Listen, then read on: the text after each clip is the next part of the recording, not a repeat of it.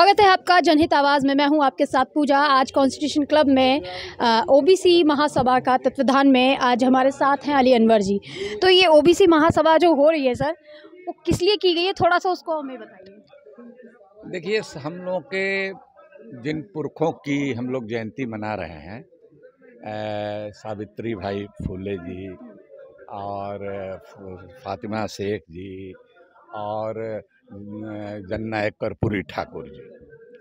तो उनकी जो उनके विचार थे, उनके विचार का हनन हो रहा है। बाबा साहब के विचार का, महात्मा फूले का विचार का और इस तरह के जितने भी लोग सामाजिक न्याय की लड़ाई लड़ते रहे हैं, उनके विचार का हनन ये सरकार कर रही है। जो हमारे आरक्षण हैं अब बेमानी हो गया है। अब बताइए कि सारे पब्लिक सेक्टर को सरकार बेच रही है अडानियों अंबानियों के हाथ में बेच रही है तो नौकरी ही नहीं बचेगी तो हमारा आरक्षण कहाँ से मिलेगा? हमको आरक्षण कहाँ से मिलेगा? और प्राइवेट सेक्टर में तो रिजर्वेशन है नहीं। तो एक तो मांग है हमारी कि इस देश की संपत्ति को बचाना है ताकि आरक्षण सरकारी क्षेत्र में रहे, हमारे लोग सरकारी क्षेत्र में जाएँ और दूसरा निजी क्षेत्र में भी आरक्षण हो। इस मांग के लिए भी। तो ओबीसी को प्रधानमंत्री मोदी जी ने ये बता करके, हालाँकि वो बाद में ओबीसी में शामिल हुए हैं, वो शुरू में ओबीसी में नहीं थे। जब मुख्यमंत्री बने तो दूरदर्शी आदमी हैं, देखा कि कोई ओबीसी ही मुख्यमंत्री बन सकता है तो उन्होंने पहला काम किया कि अपनी जाति को ओबीसी में इनरोल कराया, मुख्यमंत्री रहते हुए। लेकिन ओबीसी का सब हक, अधिकार वो लूट रहे हैं। इसलिए कि वो ब्राह्मणवादी पार्टी के मनुवादी पार्टी में हैं। तो इसीलिए हम लोग ओबीसी के लोग अब समझ गए हैं। हिंदू, मुसलमान, पसमानदा माने भी वो सी होता है। तो ये सब लोग अब समझ गए हैं कि माजरा क्या है। ये आदमी तो आँख में धूल झोंक रहा है।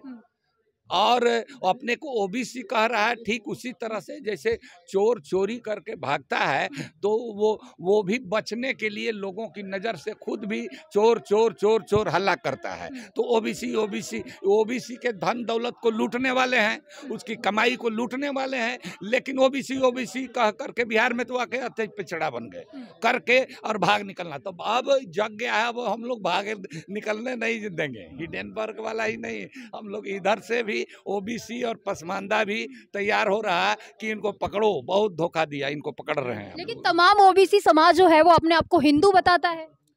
अरे भाई ई गोदी मीडिया बताता है हाँ। बहन जी आप लोग तो अ, सोशल मीडिया है अपने आप को हिंदू बताता है जाकर के वोट देता है वो बकायदा सुनिए हिंदू मुसलमान बताएगा लेकिन अब उससे थोड़ा सा उसको कुरेदिएगा तो हाँ। बताएगा अपनी जात।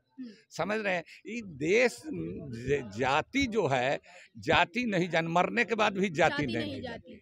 अच्छा सर आप बोल रहे हैं कि प्रहार हो रहा है लगातार हमारे हनन हो रहा है हमारे अधिकारों का। तो उसका समाधान क्या है? आप लोग सिर्फ़ एक मंच सजाते हैं उस पर बात कर रखते हैं। नहीं बहन जी लड़ाई चल रही है। आप चौबीस में नतीजा देखिए देखिएगा। हम्म। लड़ाई ऐसा तूफ़ान उठा है हम्म। यहाँ मुल्क पूरे मुल्क के लोग आए हैं जागरूक लोग आए हैं एक एक से लोग आए हैं जिनके पीछे हज़ारों लोग हैं। ये कोई अकेले नहीं आए हैं लोग। और नौजवान ये भी देख लीजिए। आंदोलन तो सड़कों पे उतर के होता ये है आ- ये नौजवान लोग हैं। हाँ। तो ये सब सब आ गया है पकता है। आग स्टोव जलाइएगा तो जलाते ही पानी नहीं ना खोलने लगता है।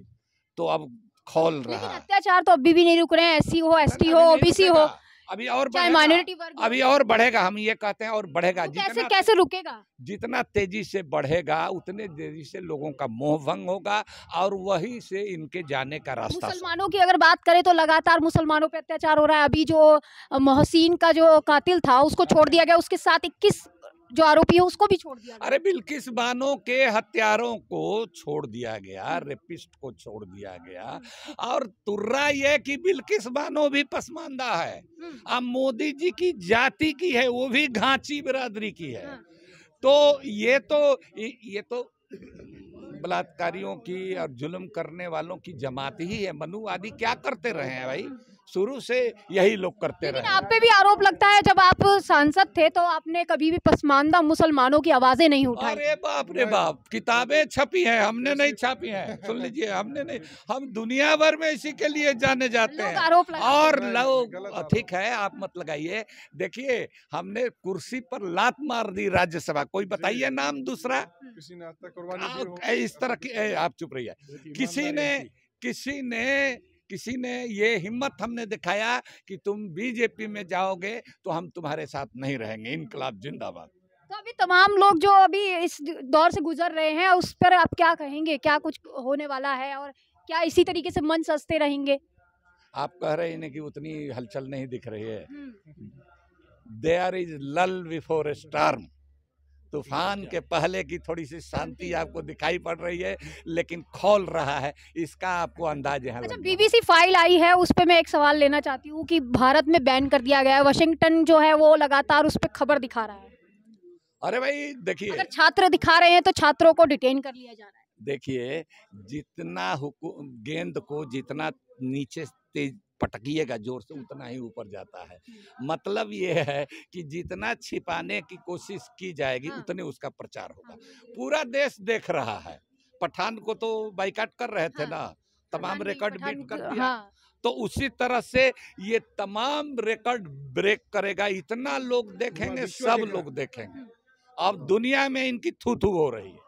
चलिए तो अभी हमारे साथ थे यहाँ पर अ, अ, तो हमारे साथ थे अली अनवर साहब। तो तमाम बातों पे हमने चर्चा की और लगातार यहाँ पर आप देख रहे हैं, तमाम जो युवा वर्ग है, वो जुड़ रहा है, सामाजिक लोग हैं, वो जुड़ रहे हैं यहाँ पर।